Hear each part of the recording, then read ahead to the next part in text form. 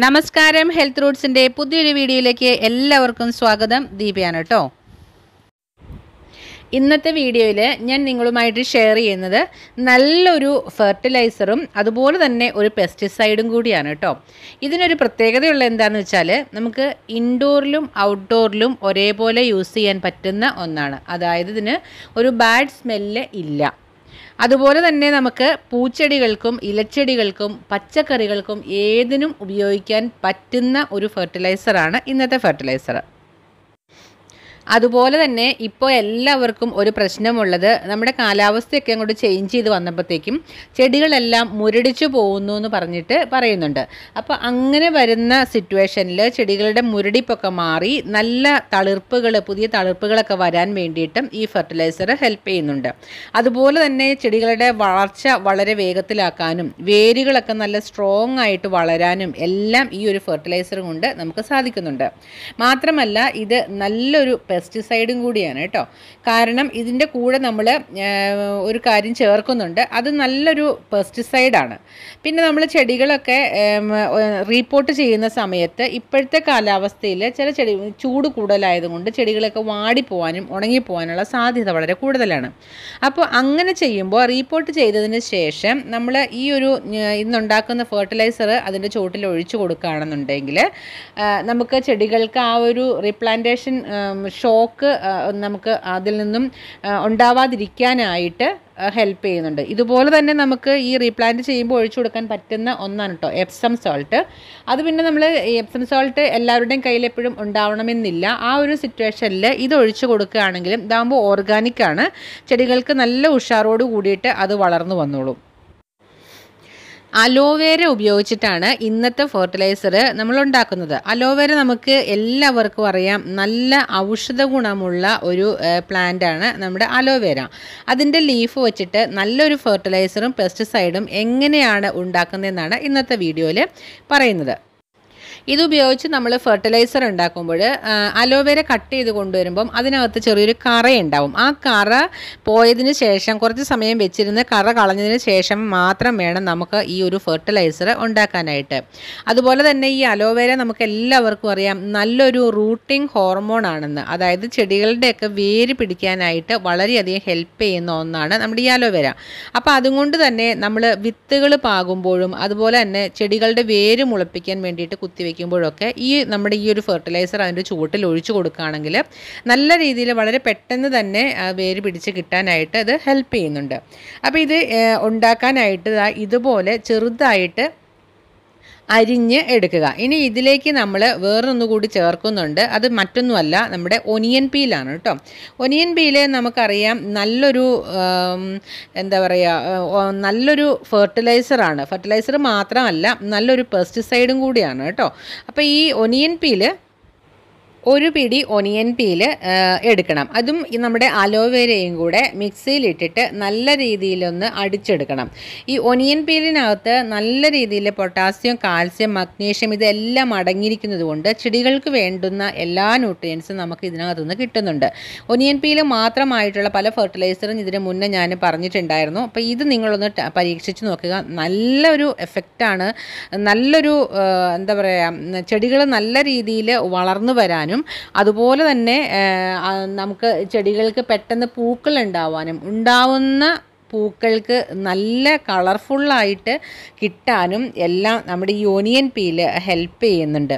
മാത്രമല്ല ഈ onion peel നല്ലൊരു പെസ്റ്റിസൈഡ് ആണെന്ന് പറഞ്ഞല്ലോ.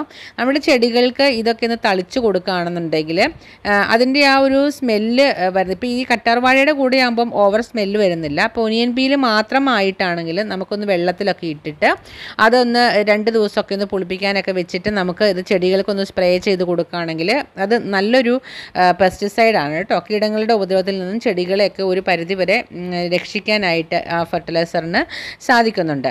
നമുക്കിത് ഇപ്പോൾ ഈ നമ്മൾ എടുത്തിരിക്കുന്ന മിക്സ് നമുക്ക് മിക്സിയിലിട്ട് നല്ല രീതിയിലൊന്ന് അടിച്ചെടുക്കണം. അപ്പോൾ നമുക്ക് ഈ ഒരു രീതിയിലാണ് കിട്ടുന്നത്. ഇത് നമുക്ക് ക്വാണ്ടിറ്റി കൂടുതലുണ്ട് എന്നുണ്ടെങ്കിൽ കുറച്ചും കൂടെ അരഞ്ഞ് കിട്ടും. അപ്പോൾ നമുക്ക് പേസ്റ്റായിട്ട് എടുക്കണമെന്നുണ്ടെങ്കിൽ അങ്ങനെ എടുക്കാം. അതിനകത്ത് നിന്ന് നമുക്ക് ഇതിന്റെ ലിക്വിഡ് തയ്യാറാക്കി എടുക്കാം. ഞാനിപ്പോൾ ചെയ്തിരിക്കുന്നത് ഈ ഒരു രീതിയിലാണ്.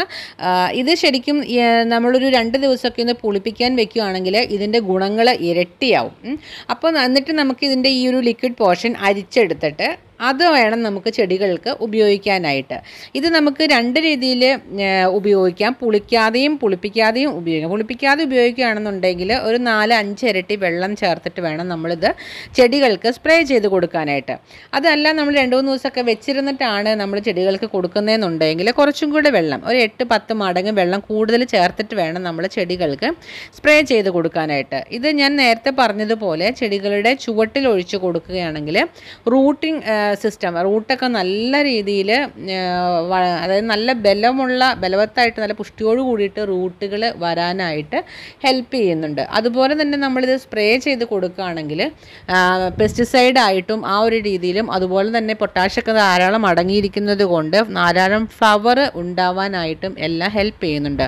ഇപ്പോൾ റോസിനൊക്കെ ആണെന്നുണ്ടെങ്കിൽ നല്ല രീതിയിൽ നല്ല കളറോട് കൂടിയിട്ടുള്ള പൂക്കൾ ഉണ്ടാവാനായിട്ട് ഈ ഒരു പെസ്റ്റിസൈ ഫെർട്ടിലൈസർ ഹെൽപ്പ് ചെയ്യുന്നുണ്ട്. അതുപോലെ ഞാൻ എപ്പോഴും പറയാറുള്ളത് പോലെ ഇപ്പോഴും ആൾ എല്ലാവർക്കും സംശയമുള്ള ഒരു കാര്യം കൂടിയാണ് ഇത് ഏത് സമയത്താണ് നമ്മൾ ചെടികൾക്ക് കൊടുക്കേണ്ടതെന്നുള്ളത്. ഏർലി മോർണിംഗിൽ കൊടുക്കുന്നതും അതുപോലെ തന്നെ നമ്മൾ പെസ്റ്റിസൈഡ് ഒക്കെ ആയിട്ടാണെന്നുണ്ടെങ്കിൽ ഈവനിങ്ങിൽ അതായത് സൂര്യാസ്തമയത്തിന് ശേഷം കൊടുക്കുന്നതാണ് നല്ലത്. കാരണം ആ ഒരു സമയത്താണ് ഈ വെള്ളീച്ച പോലുള്ള കീടങ്ങളുടെ ആക്രമണം നമ്മുടെ ചെടികൾക്ക് കൂടുതലുണ്ടാകുന്നത് പുഴുക്കളാണെന്നുണ്ടെങ്കിലും ഇല ഇലയൊക്കെ തിന്നാൻ വേണ്ടിയിട്ട് പുഴുക്കൾ വരുന്നതാണെങ്കിലും ആ ഒരു സമയത്താണ് മെയിനായിട്ടും വരുന്നത്. നോക്കൂ നല്ല രീതിയിൽ റോസിനൊക്കെ ഫ്ലവർ ഉണ്ടാവാനൊക്കെ ഇത് വളരെയധികം ഹെൽപ്പ് ചെയ്യുന്നുണ്ട്. പിന്നെ നമ്മൾ ഏർലി മോർണിംഗിലൊക്കെ നമ്മൾ ചെടികളുടെ ചൂട്ടിൽ ഒഴിച്ചു കൊടുക്കുകയാണെങ്കിലും വളരെ നല്ലതാണ്. അപ്പോൾ ഒന്നുകിൽ ഏർലി മോർണിംഗിൽ അല്ലെങ്കിൽ ഈവനിങ്ങിൽ വേണം. ഈ ഫെർട്ടിലൈസർ മാത്രമല്ല കേട്ടോ ഏതൊരു ഫെർട്ടിലൈസർ ആണെങ്കിലും അങ്ങനെ വേണം നമ്മൾ ചെടികൾക്ക് കൊടുക്കാനായിട്ട്. അപ്പോൾ അതുപോലെ തന്നെ നിങ്ങൾ ചോദിക്കാറുണ്ട് അപ്പോൾ ഏതൊക്കെ ഫെർട്ടിലൈസറാണ് ചെടികൾക്ക് കൊടുക്കേണ്ടതെന്നുള്ളത്. നമ്മൾ അങ്ങനെയല്ല ചെയ്യേണ്ടത്. അതായത് ഒരു ഫെർട്ടിലൈസർ തന്നെ നമ്മൾ കണ്ടിന്യൂസ് ആയിട്ട് ചെടികൾക്ക് കൊടുക്കുമ്പോൾ അത് ചെടികൾക്ക് അത്രമാത്രം ഗുണകരമല്ല. കാരണം എല്ലാ ന്യൂട്രിയൻസും ചെടികൾക്ക് കിട്ടണം എന്നുണ്ടെങ്കിൽ നമ്മൾ മാറി മാറി നമ്മൾ ഫെർട്ടിലൈസറുകൾ കൊടുക്കണം. ഇത് ഞാൻ പലപ്പോഴായിട്ടും പറയാറുള്ള കാര്യമാണ്. നിങ്ങൾ ഓരോ ആഴ്ചയിലും ഓരോ ഫെർട്ടിലൈസർ ചെടികൾക്ക് കൊടുക്കൂ. അതുപോലെ തന്നെ ഒരു മന്തിൽ അതായത് മാസത്തിൽ ഒരു പ്രാവശ്യമൊക്കെ നമുക്ക് ഓർഗാനിക് അല്ല അല്ലാതെ നമ്മുടെ ഈ എൻ പി കെയോ അങ്ങനെ എന്തെങ്കിലും ഫെർട്ടിലൈസർ നമ്മൾ ചെടികൾക്ക് കൊടുക്കുന്നതും നല്ലതാണ്. എപ്പോൾ എന്നാലും കൂടുതലും നമ്മൾ ഓർഗാനിക് ആയിട്ട് കൊടുക്കുകയാണ് നല്ലത്. പിന്നെ ഇപ്പോൾ ഈ വേനൽക്കാലം ആയതുകൊണ്ട് നമ്മൾ ലിക്വിഡ് ഫെർട്ടിലൈസർ കൂടുതൽ കൊടുക്കാനായിട്ട് ശ്രദ്ധിക്കുക.